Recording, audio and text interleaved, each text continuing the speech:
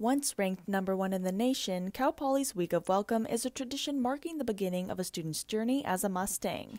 Due to the pandemic, orientation for the incoming class of 2020 was moved to a virtual format. In an attempt to make up for the class's lost in person experience, Dean of Students Joy Peterson created Campus Comeback, a 10 day experience for second years to get acquainted with their campus and advisors. Peterson says this event was important to introduce students to the university. Some of our students accepted their admission to Cal Poly without ever visiting and had never had an in person class. So we really wanted something special above and beyond what we typically do to start off the year. Campus Comeback also offered opportunities for students to explore the surrounding area of San Luis Obispo. College of Liberal Arts academic advisor Katie Harris says one of the main goals of this event was to connect students with our college advising centers. So advising is super important to get to know right when you get to Cal Poly.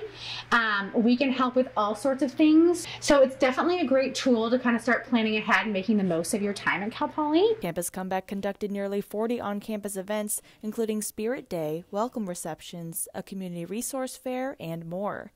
Psychology senior Madison Anderson O says that being on campus makes all the difference. And especially being on campus is so awesome. It's great that this new generation of first years and transfers get to be on campus, and it's been super awesome to see all the smiling faces again. Campus Comeback ended on September 28th with a day of academic advising and receptions with the Knowledge, Writing, and Learning Centers. Reporting for Mustang News, I'm Ava Kershner.